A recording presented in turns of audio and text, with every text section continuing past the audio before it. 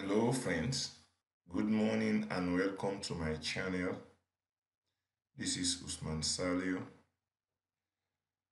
um i want to address another question that i received from one of my subscriber um if you have any question or you have any problem with Revit, you can send me a direct email through my email address step by step online design at gmail.com. You can also join my WhatsApp group, White Boy Enterprise. The number plus two three two seven nine five nine zero two one one. You can also visit my Facebook page White Boy Enterprise. I also want to say this to you. If you send a question, I don't respond immediately.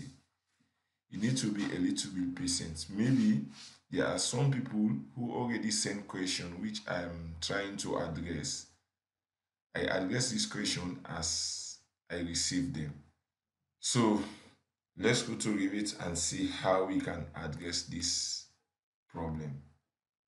But please don't forget, you can join my WhatsApp group, White Boy Enterprise. You send any question that you want to send or you send it through email. This is another question which I received from one of my group member and this is another video which one of my group members sent to me but the line is a bit slow this morning. Now let's go to Revit. This is the question um, this guy wants to draw uh, a wall 20 feet by 20 feet by 16 feet and back to the starting point. So without further wasting time, let's go to Revit. Now we are in the Revit environment. Now go to the architectural tab, working plan panel and select the ref tab button.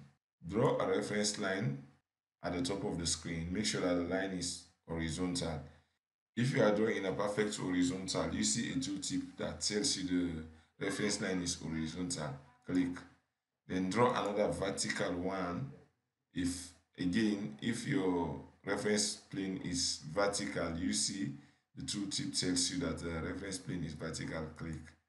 Then go to the draw panel again with the reference line command still active, go to the draw panel and switch from the line tool to the pick line tool.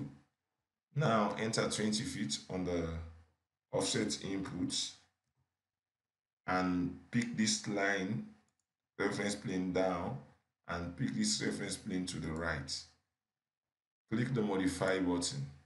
Now select this reference plane, click this button at this grip and move it down. Select this reference plane, click this grip and move it down. Right click the reference plane again. Select Create Similar. Use the pick line tool and enter a distance of 16 feet. Offset this to the left. Now click on this grip and move it down just to make it to differentiate it with the other ones. Click the modify button. Go to the architectural tab and select the wall command. Go to the property palette. Under the location section, change the location line to finish face exterior. Move the mouse cursor and click on this intersection. Press the spacebar if the wall orients in the wrong direction and click on this intersection, this intersection, this intersection. Now move your mouse cursor and click at the intersection of this bottom part of the wall. Click. Press escape twice. As you can see through the reference line, you know that from this point to this point is 20 feet. Let's dimension and see and find out if I'm right. you see 20 feet so if you try to dimension let me change the dimension location to face of wall face if you select the face of this wall and try to dimension. Number one you cannot dimension a face of the wall with another face of the wall that is not parallel. But you can dimension to a face of the wall to another point on the other wall now if i open my mouse cursor and press the tab key you see i have 20 feet 1 31 i have 20 feet 1 21 30 second 32 seconds so if again I take another dimension and try to dimension at this point where this other wall stop, I hold the mouse cursor and press the tab key. I have my 20 feet exactly. So to remedy this situation, you need to treat the way the wall joint looks. Let me click on the modify button and go to the status bar and change the view detail to fine. Then I'm going to change the deactivate the thin line. Okay. Now I have 20 feet here. You see the 20 feet reference where the reference plane is. So to remedy this situation, you need to address the way the wall joint. To do that, go to the modify tab, geometry panel, click the wall joint tool, and click where the two wall, the two or more wall meets you have these options. At the moment, it says but you have the other option, this middle one, which is mitre. Then you have the last one, which is square off. When you do, you see the way the wall is square off. Even the dimension that I was drawn previously, because I square off the wall, the dimension Revit asked me to delete the dimension. I'm going to delete this dimension by saying yes.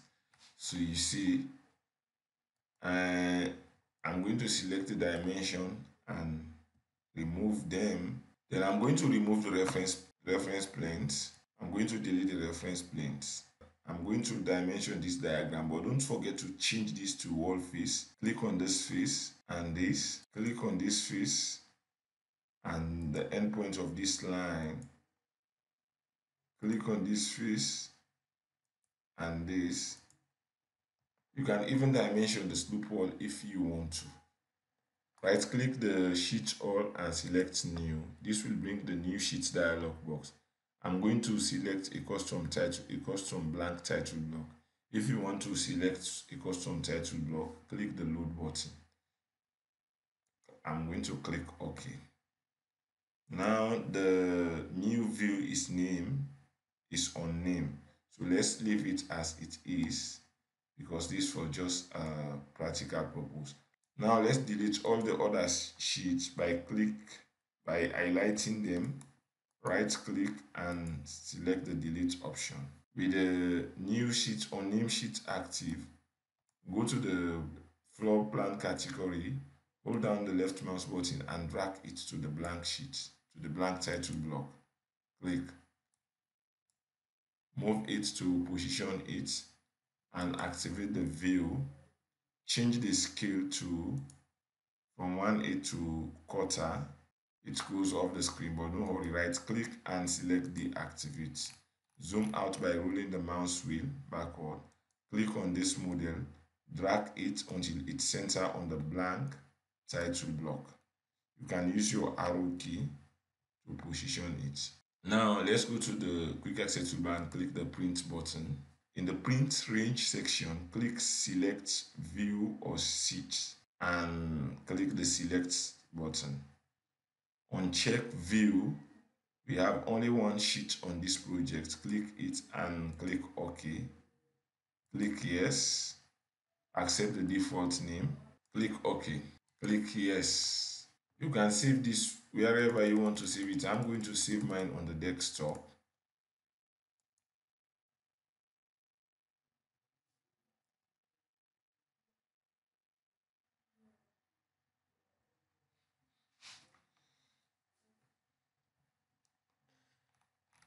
you see this is your final results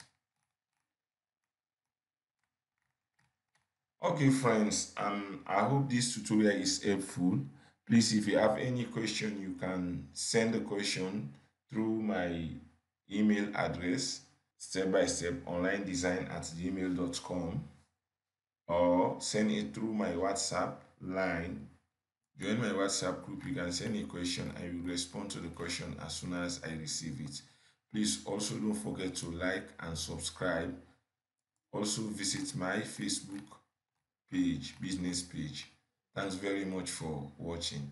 I'm here to receive your question. I hope to see you in the next class. Goodbye